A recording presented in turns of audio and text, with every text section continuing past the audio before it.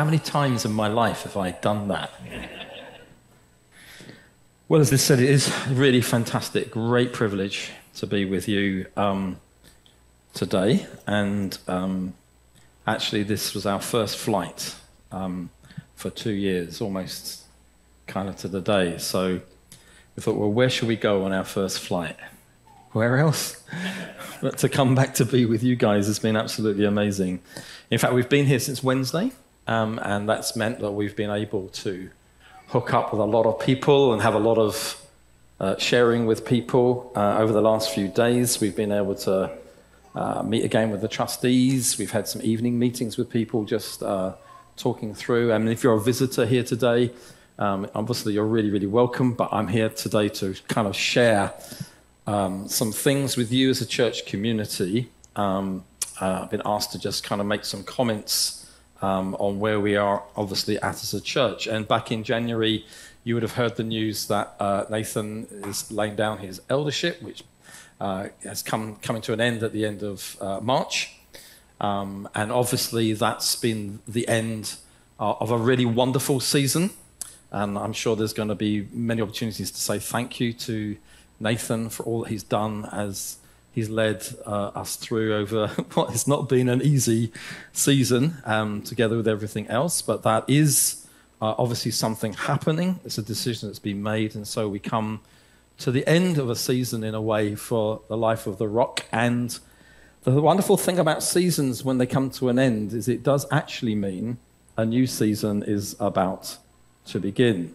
And you see that in Scripture that as one door shuts, it's always that God has a plan for another door to open, even if you don't know exactly what that is. And this, of course, all results in change. And change is not an easy thing, especially after we've gone through the last couple of years. But here we are again as a church, and I've been coming out of here in and out since 1981. So I know that this church has been going through an awful lot of changes over these years. And change is not easy especially if you're going into a season where you kind of don't know what does this mean. It can be very unsettling. And if there's one thing, and I'm sure there are many that you go through a global pandemic as a Christian that you do hopefully uh, learn and realize is though everything seems to be out of control and though you're not in control of your own life and the, the governments of nations are no longer in control, you do have to come to a place where you realize, but nevertheless, God is totally in control and he knows what he's doing from the beginning to the end of things. And so, as we go into this new season as the rock, it means that there's no eldership team, for example. So, what is our goal together? Our goal is to see a new eldership team uh, emerge uh, in the life of the rock, raised up in this community. That may include, these are things we're praying about, talking about, someone coming uh, from the outside to be a part of that. Um, but when I, when I say something like that, it, it, often gives the impression, I think, of marking time. You know, I, I know some church situations where it's if only we had a pastor and we're just waiting for the pastor.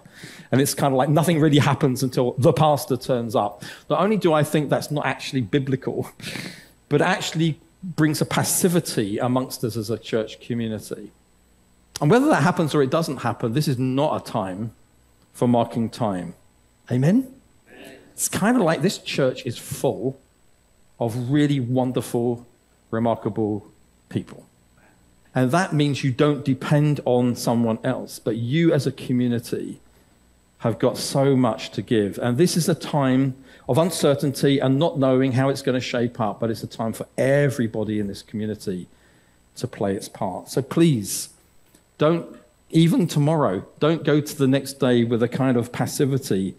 This is a time for regathering. This is a time for rebuilding. And it's probably a time for patience as we do seek God for what He has for us. It really is a time for pulling together. I really hope you receive that. Not sitting back waiting for some magic wand, but actually really coming together as the people of God. COVID's strange. The whole, the whole two years, it's, It's been strange watching people kind of back off a bit. Obviously, if you have to legally, then that's right. But that kind of mentality, and I don't think that should be our mentality during this next season as a church community, but rather the opposite. It should be a coming together. It's also an opportunity to re-establish a few things from our point of view. This has been dreadful having two years of not being able to come, not being able to visit, not to be able to be with you. That's how I feel. You might not feel like that at all, but that's how I kind of feel. And, and, and the reality is that's been difficult. It's been difficult locally for churches, but it's been difficult for those of us who are kind of working amongst churches. We've just been so limited. We were traveling, we were doing flights air two to three times a month, year after year after year, and then suddenly it all comes to an end. And you feel, yeah, you can do Zoom calls and you can kind of do that sort of thing. But the reality is that we've been apart from one another. And I'm looking around this room and there's a whole load of you here. You have no idea who I am. Who is this old guy that Nathan's just got up on this platform? But there's an awful lot of you. You just look a little bit older than I last saw you two years ago. But apart from that, you kind of look the same. And we've been together for years and years and years. And so it's an opportunity, as you've been in isolation, probably more than any other church community I'm aware of in this family of churches, to really, really start to see that readdressed. So I'm really praying that as New Ground gets on the road, the bigger family of New Frontiers, that can often remind us, and it reminds me, that we're part of something that's much bigger than us. This is just such a wonderful thing that we're part of an international family all over the world. So for those who don't know what I'm talking about, New Frontiers is a family of churches been around since, since the early 80s. We're now working 80 different nations. We have no idea how many churches are part of it, but we just know it's over 2,000 and it's growing all the time. And it's just so wonderful to be caught up in something that God is doing and not man's doing. And I trust that that will be part of our experience, but also that we want to support and serve you as a church community into this next season in every way that we can. Final thing I just want to say, because we are going to get to the Bible in a moment, is that um, one of the things we would love to do in the meantime is to create and establish what we'll call an interim leadership team. And that team's responsibility is to ensure that this church is led on a day to day basis and leads into the next phase um, of leadership that God has around the corner. This will take time, and be, bear with us as we try to constitute this interim leadership team and who's on it and what the responsibilities um, will be. I have to say that it's strange, isn't it, to walk into a season and, and, and feel a bit leaderless, but the reality is um, there's just a sense of peace that God is in this and that God knows what He's doing. I'm actually quite calm. It's been a very stormy few days, isn't it? I've often, I don't know why, I've just thought, yeah, storms. I feel quite calm in the midst of the storm, knowing that God has got this together, and we need to watch what God will do. I'm the sort of person, I'm not probably the only one in the room who likes to fix things.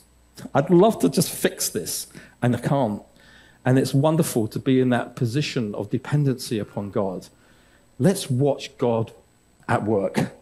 Let's see what God will do. I hope that's not too unsettling, but let's watch God. We've been here before, we can see Him do things. Toyosi, who's just sitting over there, shared with me the other day. I was tempted to get you up here, actually. In fact, I'm still a bit tempted to get you up here. But time probably doesn't permit. But I, we were chatting away, and she just said she felt stirred about the story of Uzzah, who was a guy who reached down. Do you remember that story when the Ark of the Covenant was falling off the cart? And he had a, an unhappy ending.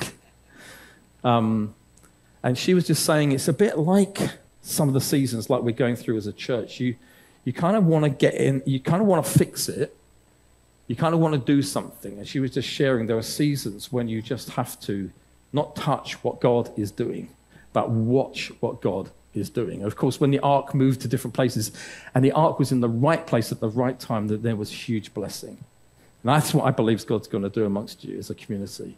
Shaky, uncertain, unknown, pulling together, really standing with one another, and then seeing God move One thing that I've been uh, reminded of recently is just this one uh, uh, theological issue which is important for us. It's the principle that Jesus is always praying for you as an individual. He was praying for you when you woke up. We don't think about that very often. And he was praying for the rock, and he's praying for you as a local church and a people. And I just find that absolutely mind boggling that all through these two years, I've been up and down, my emotions have been all over the place. There have been times during these two years I've just not been doing well. And even though I've not been doing well, Jesus never stopped praying for me and praying for you. Don't beat yourself up if you've had a rotten time over these last two years. God loves you and He has been doing a more in you than you could even imagine. And I believe with all my heart that He's praying for you. It's a wonderful phrase where he turns to, to Peter and Jesus says, Satan has sought to sift you like wheat, wheat, but I have prayed for you. That your faith might not fail, fail, and now go and strengthen your brothers. I believe that's a little word for you as a people. Jesus is praying for you. Don't let your faith fail and strengthen one another during this time. Can we just turn to the Bible? And what I want to do is share with you something which I hope will be relevant into all of this. Nathan asked me if I would spend a bit of time today, it's not so much a preach, but telling a story. He, would, he asked me if I could tell a bit of a story of the early days of New Frontiers, um, because there are so many of you that are new. And it's actually a relevant word for some of you who are older because your memory is not what it used to be. So I'm going to remind you of some of the things that you might have even forgotten about. But when Nathan shared it to me, I thought, well, this is a bit tricky. I don't know how to do that. And then I really felt to actually talk about it slightly different and a bit about the past, but not in a nostalgic way, but making it relevant to where you as a church community are today. So if you have your Bibles, I just want to read from Genesis chapter 26 where it says this Now there was a famine in the land, besides the former famine that was in the days of Abraham. And Isaac went to Gerar to Abimelech, king of the Philistines. And the Lord appeared to him and said, Do not go down to Egypt, dwell in the land of which I shall tell you. Sojourn in this land, and I will be with you and will bless you. For to you and to your offspring I will give all these lands, and I will establish the oath that I swore to Abraham your father.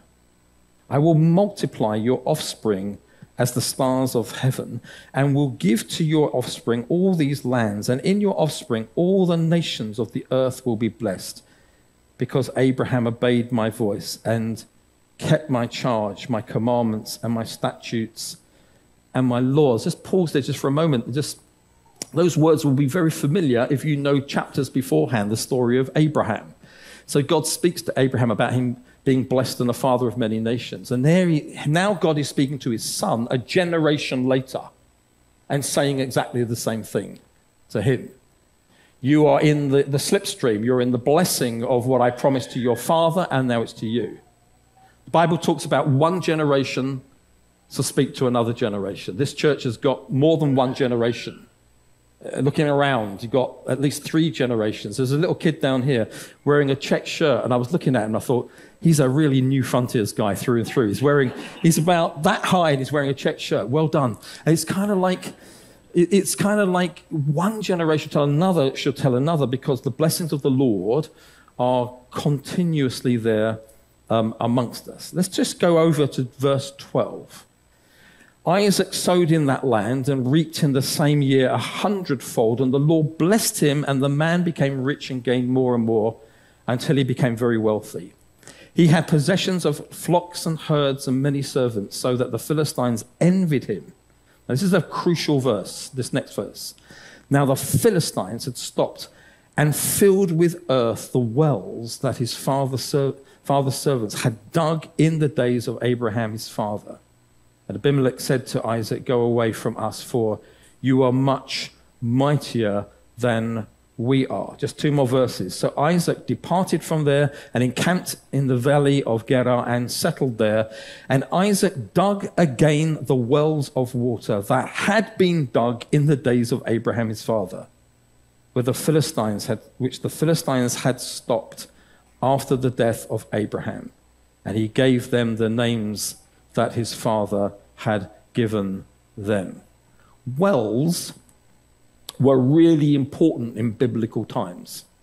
They signified literally a life that was given for the community. Some of you come from nations around the world where your parents and grandparents would have spent a lot of time at wells. It's a bit strange for us to kind of relate to it in our day and age, but they were places where communities gathered. They were places where life was given. There were places, they were really, really important to have wells that were full of life and full of water that would spring forth. And so to block the wells was also very significant, but it was going to stop the blessing, going to stop the life that was going to be given to the people who are around them. And if you move on into the New Testament, you see wells are all over. Jesus was always at a well. He was always somewhere and he was talking about the well and not just the physical well, but the spiritual well. And if you come to me, you'll have life and rivers of living water. And wells were a big deal in those biblical times, which is why they're used as an illustration for us. And of course, the, the implication of this is to translate the physical into the spiritual. In other words, there are generations who have gone before us who have dug wells our responsibility all these years is not to be nostalgic and look back at the good old days. By the way, they were not. And, uh, you know, those were the wonderful classic days. Because if a well has been dug, then that water is bubbling up underneath the surface of the life of the people who's, who have the ownership of those wells. Even if they've been bunged up and, and, and, and shut down, they're still there. And so we have a responsibility to re-dig wells. And what I want to do today is just talk. Yes, I'm going to talk a little bit about the early days of New Frontiers, how we were birthed, lessons learned, battles fought, history, prophetic promises, etc. But it's all so that you understand a generation dug wells, and actually those wells are still there, and we need to redig them once again. There can be an impartation. And it's true. I'm sorry this is going to be a little bit of a, of a, of a kind of history lesson, but it's true that a generation 40 plus years ago dug wells, and it's true of you. I was here when a generation was raised up and dug wells. And we have loads of wells that have been dug in the rock over the years loads of wells. The story of New Frontiers is the story of the rock. It's not like one or the other, it's the same story. And there are lots of them the wells of grace, the wells of prayer, the wells of the supernatural, the wells of the prophetic, the wells of being a diverse people, the wells of being a people with purpose to the ends of the earth. A generation before a lot of you were here in this place lived and breathed and preached and pioneered and fought battles for those kind of wells to be dug. I'm just going to mention three of them because I'm a preacher. Three of them that are important. The first is what I would call the well of the Word and Spirit. The, the, the well of the Word and Spirit. Some of these things are generalizations, but please bear with me. Back in the 60s, in the UK church scene, there, raised, there emerged a generation that started to believe there was more to their Christian lives than they were experiencing. They were hungry, they were thirsty, they didn't know quite what for, but something big was missing in their lives. And this was happening globally, but it's happening in the UK and it was happening right across all denominations. Every, everywhere you went during that time, there was this growing sense there's something missing, there must be more. And that led to the, a discovery of what it was. And the discovery was the person and the power of the Holy Spirit. Because it's kind of like everybody knew that they'd been born of the Spirit, but the thing that's been missing is this strange member of the Trinity. We kind of know a lot about the Father and the Son, and then, ooh, a little bit kind of I remember as a little kid being told, you know, just, be, just, just beware. I, I, I remember the phrase the Holy Ghost, and it used to frighten me. He used to think, oh, he's like a ghost then, is he? I mean, it doesn't mean that, but that's what I thought as a kid. So he's kind of ghostly, weird, strange, to be avoided, especially if you're British. You know, it's just not the thing to do. But this hunger and desire led to the rediscovery of this person of the Spirit. And I want you to notice, ironically, lots of people came to that place because they were studying the, the Word of God. The sadness in the evangelical world is there seems to become a separation between Word and Spirit. And so you have churches that are really, really strong on the Word and very nervous about the Spirit. And there are churches that are all guns blazing about the Spirit. And they're really nervous of the Word because they think the Word will quench the Spirit. The Bible never separates those two. The Bible talks about them as friends. Jesus said, at a well, incidentally, there'll come a day when you'll worship in spirit and in truth. So in the scripture, you'll feel what the world is separated, it's just there together. And the well that has been dug across the, the history of New Frontiers, when hundreds of people started to say, God, what is it that's missing? For individuals, it resulted in people being baptized in the Holy Spirit and moving in the gifts of the Spirit for the first time and knowing the power of the Spirit to be witnesses. And if I can say this, knowing a freedom that they'd never known before, knowing a joy that was almost overwhelming that they'd never known before. And corporately, it resulted in churches like the Rock coming into being. It wasn't just about individuals being empowered by God through the baptism of the Spirit. It was about a learning of a whole community called the church. And this was going across all denominations. And sadly, for some of us, it resulted in us not being able to stay where we were, but going on a journey to dig this well properly because we felt we couldn't dig it where we were. It's very disruptive in so many ways, but it was absolutely vital. And you may not know this, but this church community exists exactly the same through those times when corporately we were learning about worship and corporately meetings were coming alive.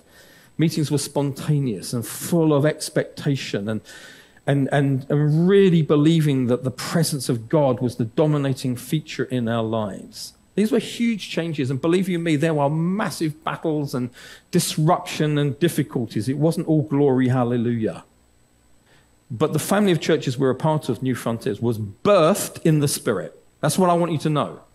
It was birthed as a result of the move of the Spirit.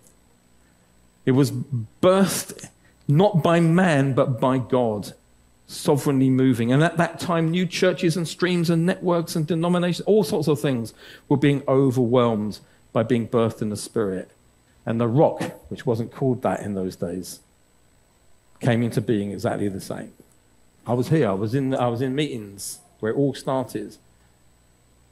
The word and spirit has been dug in this church. There's a deep well here of the word and the spirit. And the Christian landscape's changed dramatically as the years have gone by. It's now very, very different. And yet, there is a real danger 40 years later. This is what I want to home in just quickly. Because 40 years later, things that were full of wonder can now become very, very overfamiliar. Things that you thought, wow, can now be taken for granted. Uh, things that, you know, were, were, were just so precious can be just kind of, well, easy come, kind of easy go. Yet there's, so, there's such, a, such a need a generation later for this well to be redug again. So that we don't fall into the trap of overfamiliarity. You know, there's a famous phrase one generation fights, another generation later on assumes, and then the third generation loses it. We talk a lot about this. So much so that some people think it's like a church logo. It's not. It's not supposed to be good news. it's said so that we can understand that is not the will of God. The will of God, if there was a generation that fought for something, the next one doesn't assume and doesn't lose, but we keep it. How on earth are we going to keep it 40 years later? The same way that they kept it right at the beginning.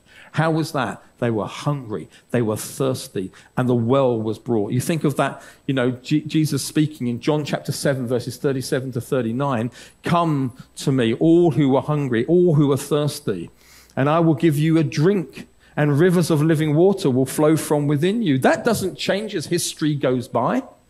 You think, well, I'm so grateful that there was a generation who dug this well of the Word and Spirit. I think, well, that was 40 years ago, so what are we going to do?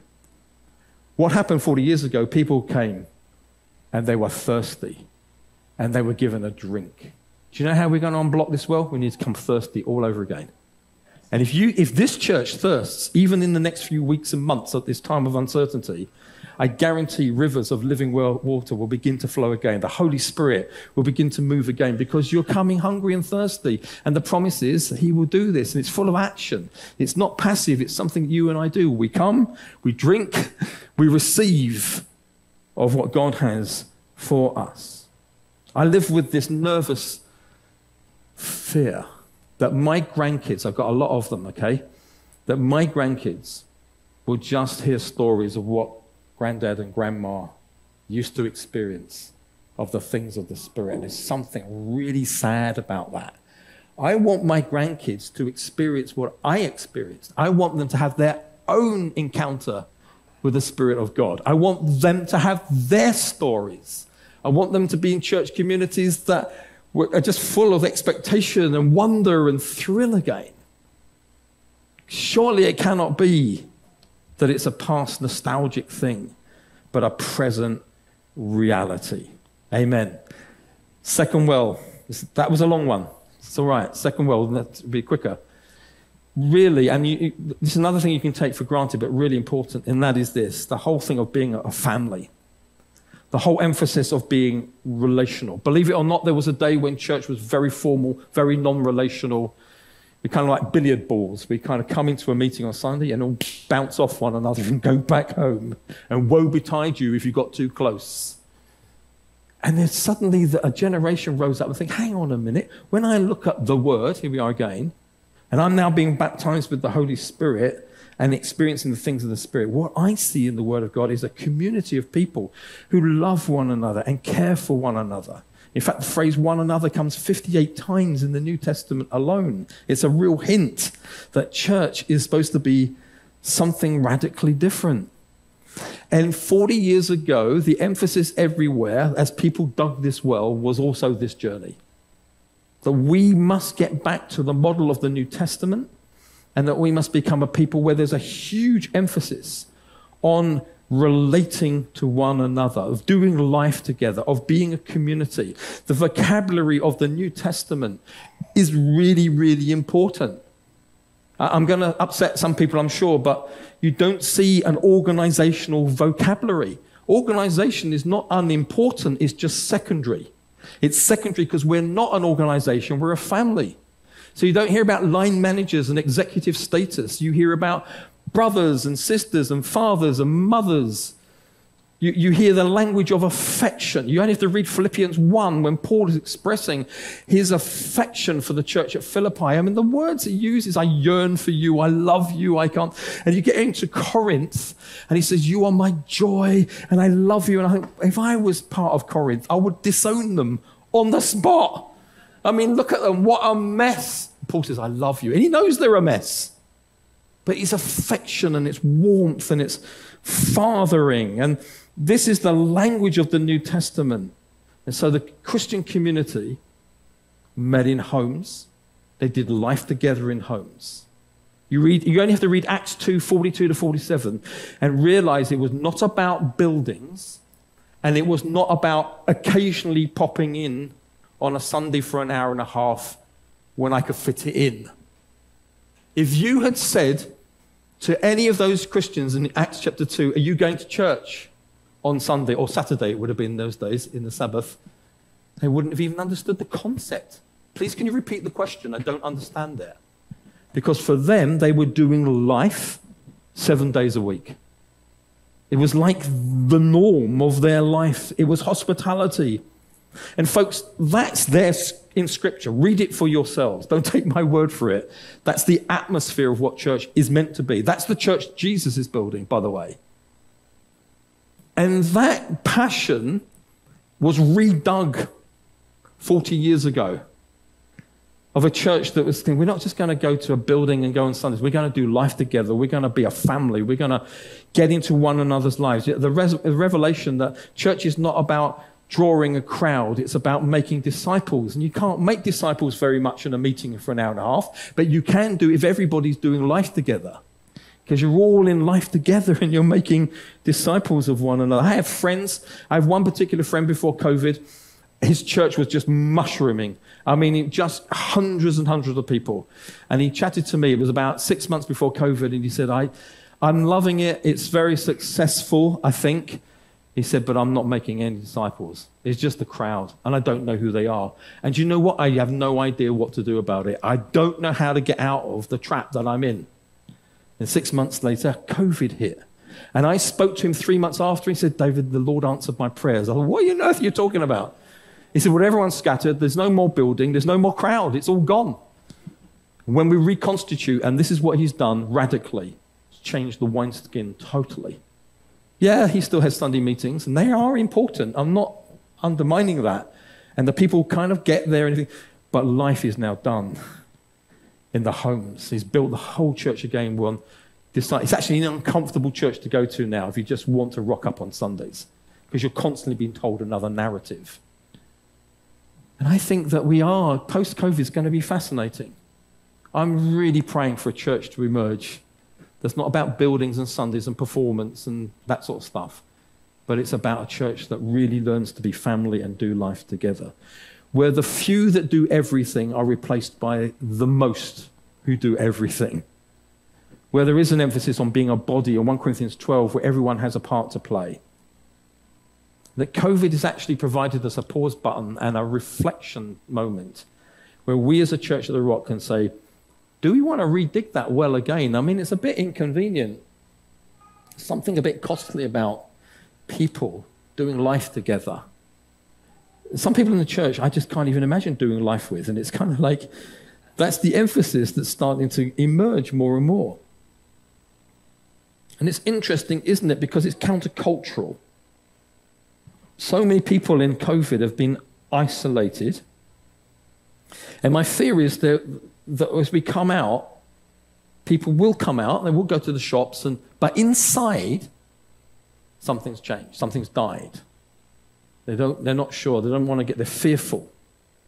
We as a community have an opportunity to radically model something completely different where there's genuine love and care and unity, and we're not just isolated physically and, and, standing against that isolation, but inwardly we're not allowing that to happen at all. There's a lot more I could say about that. We haven't got time. Third and final thing is mission. I think, if I'm honest, when I look back on the early days that, that I was involved in, as this family of churches called New Frontiers that was coming into to be birthed, this wasn't one of the worlds. We were so into, we were so into the word and spirit and family, we thought that was it. This is so much better than it used to be. There wasn't a lot of talk about outreach and reaching people. We didn't even have that on our agenda very much. But as time went by, we began to realize that if God has brought us together as a family of churches, it must be for a reason. What is that reason? and a new well began to be dug. And the well was this we have come together for the purpose of mission. That we together can't be just a nice family that looks at one another every week, but actually we've come together to make an impact upon all those who don't know Jesus and don't know good news and don't know the power of the gospel to transform their lives. And this resulted in a huge revolution the reason that New Frontiers is now whatever it is in so many nations is because of this. I'm really grateful to God. We dug the well of word and spirit. We dug the well of family, but it didn't stop there. We dug the word, the well of mission. So people were mobilized, people were sent, people planted churches. People were provoked by hearing what other churches were do- doing. And as local churches, churches began to become far more missional in terms of an understanding that our very existence on an island like Guernsey is not to be complete in ourselves, but we're here for the purpose of reaching the thousands who do not yet know who Jesus is. That's why we exist. And to be quite honest with you, we could grow through church transfer. This island does grow through church transfers of people moving. There's nothing massively wrong with that you know, God's bigger than all of that. But what about all those who've never even heard of Jesus? Who haven't even thought this morning that why would I ever go to a church building? Why would I ever do that? It's irrelevant. It doesn't mean anything. These are the very people as to why a well was dug in the spirit and why a well was done to be a family is not an end in itself, but a means to reaching all of those who do not yet know Jesus. And you know, we as a church here, we exist for many, many good reasons, and they're all valid. But the overall reason must be that we are good news people to people who do not know Jesus. And COVID has got to result, please, brothers and sisters, hear this.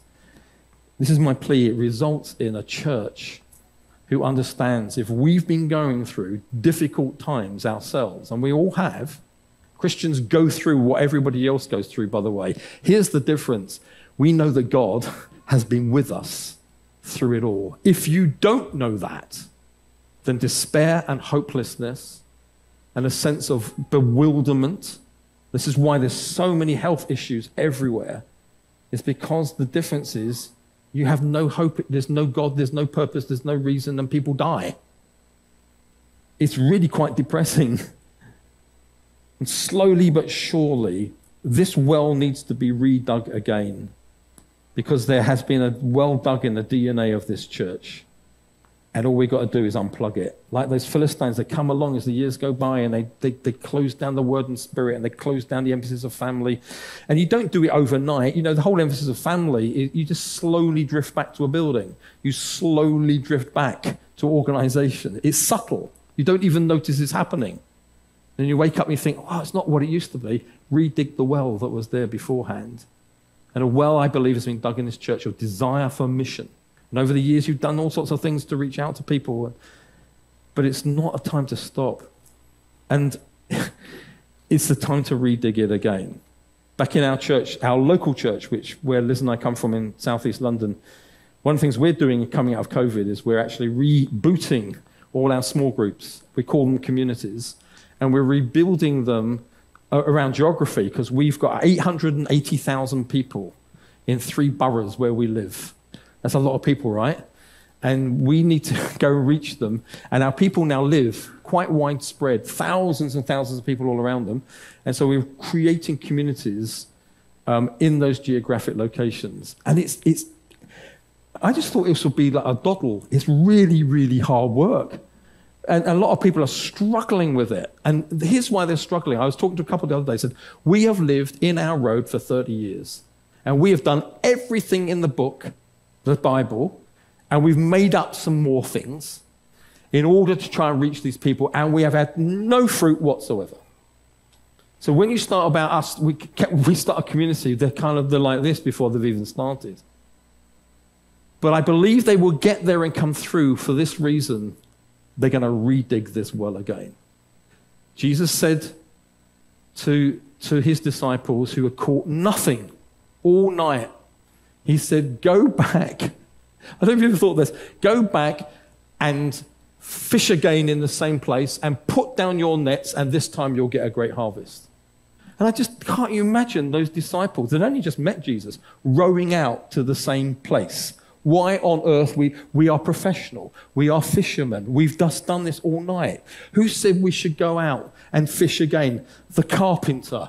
What does he know about fishing? But when they let down their nets in the same place and they saw this abundant supply, they realized he wasn't the carpenter.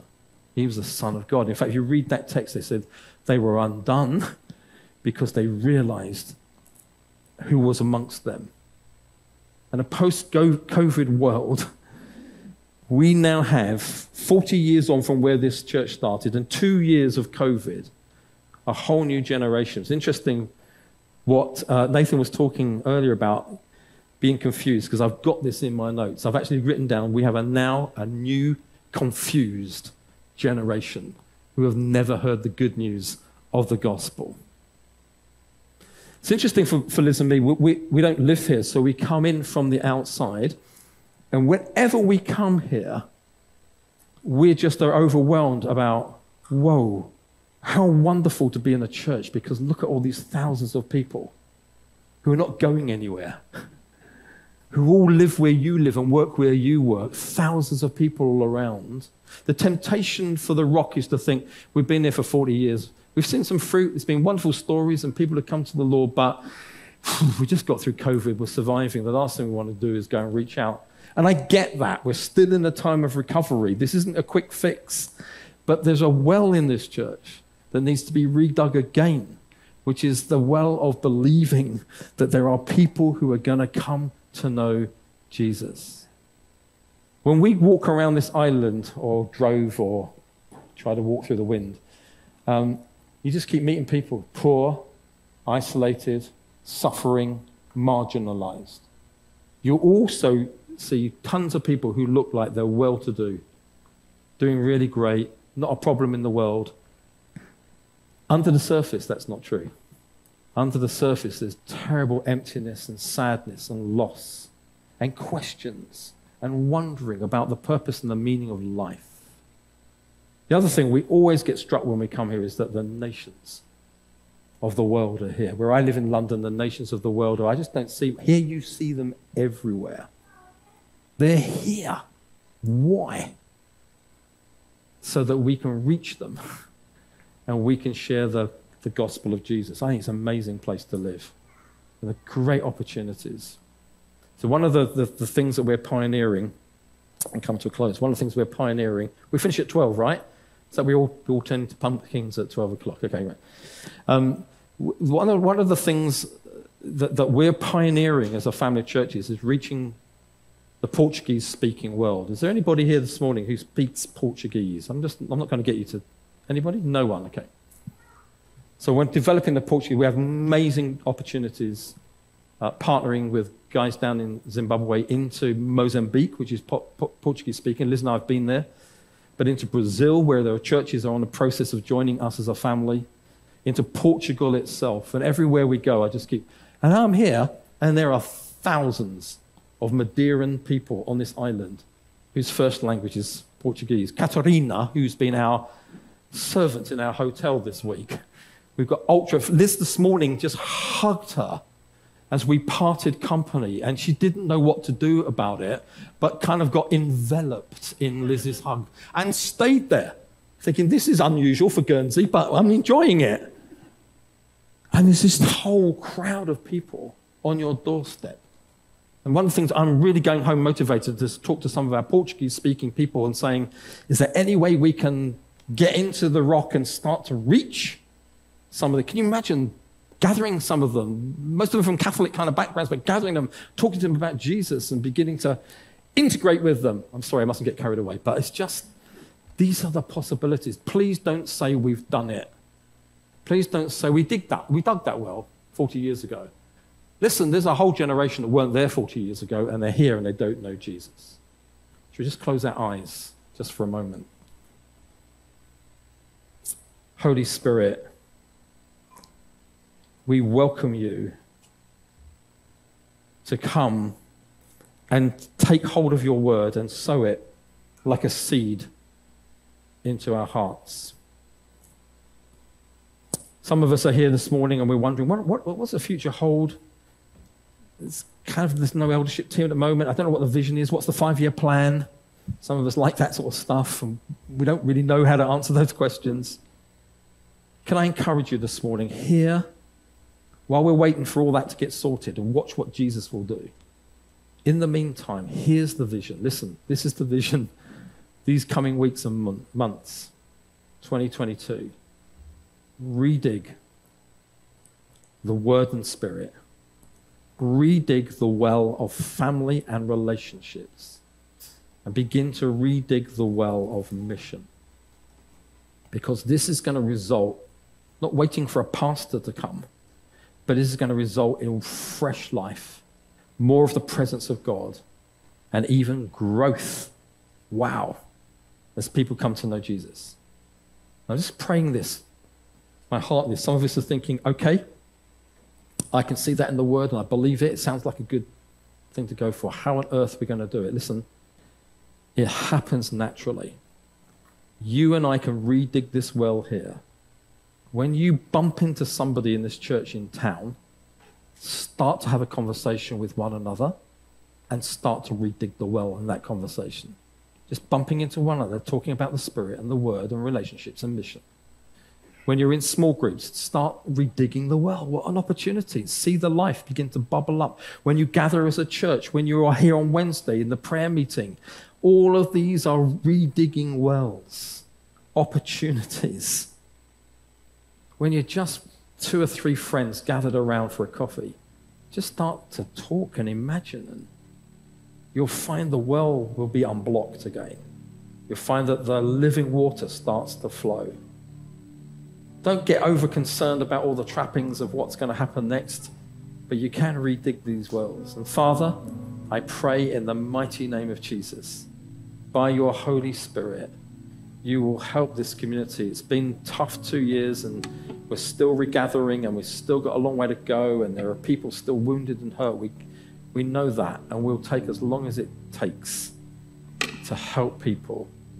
But, oh Lord, in the meantime, Thank you for the wells of a former generation that fought battles and did some amazing things in order to cause life to come. And here we are these years later. And I thank you that just like Isaac discovered that the wells of his father Abraham could be redug, help us to redig the wells of a former generation. Please don't allow us to talk about nostalgic stories of the past but to live in the reality of even more than our forefathers experienced.